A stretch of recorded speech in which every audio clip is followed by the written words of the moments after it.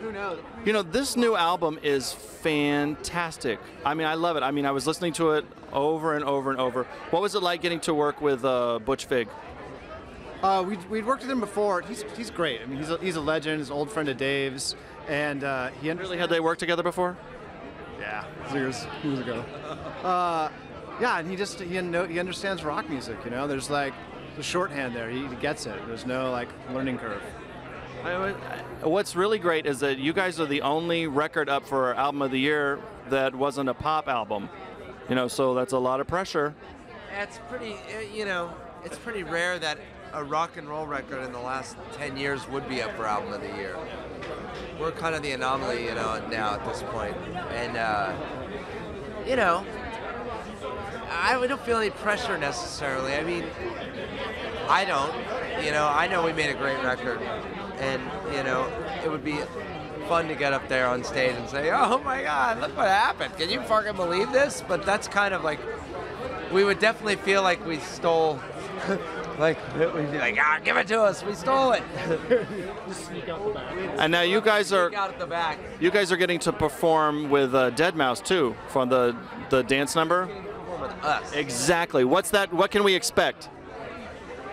Uh, an, an, awk- an awkward collaboration between two s- distinctly different styles of music. Well, that just means good TV, right? Exactly. Yeah, right. So, uh, what does this event mean for you guys tonight, being here for a Person of the Year?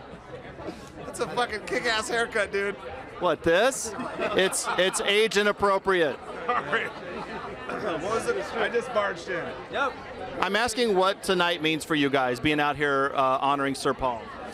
Well, I don't think any of us would be here if it weren't for Paul McCartney and the Beatles, and he's obviously uh, a genius. And to me, I could I can't think of another person uh, who's an, as important in modern popular culture. That guy's had more influence than maybe anybody, and uh, and he's a good dude. If you've ever hung with him, he's a really nice guy. And uh, There's a reason that MusiCares is honoring him. Absolutely, yeah. And you know, to be here for MusiCares, it's we've been here, I don't know, one or two times before, and um, and yeah, I know people personally that have that, that MusiCares have helped just within the last couple months. You know, uh, it's great when musicians sort of stick up for each other and help each other out. And a lot of musicians aren't fortunate enough to have health care to get the help they need, and so it's a good thing. Now, I was talking to these guys before you walked over about uh, the fact that you guys are the only rock album up for Album of the Year, and all the other nominees are pop. I mean, you're carrying the rock mantle right now.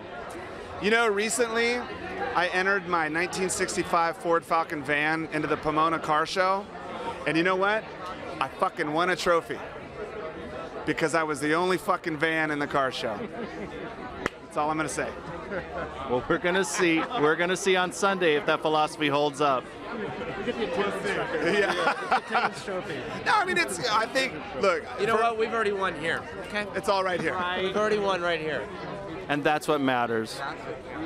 No, I really want the Grammy. Actually, fuck the heart. I want the Grammy. Well, have fun tonight. Thanks a lot. All right. Thanks for talking to us. No, we haven't done it. All right, thanks. We didn't get. We,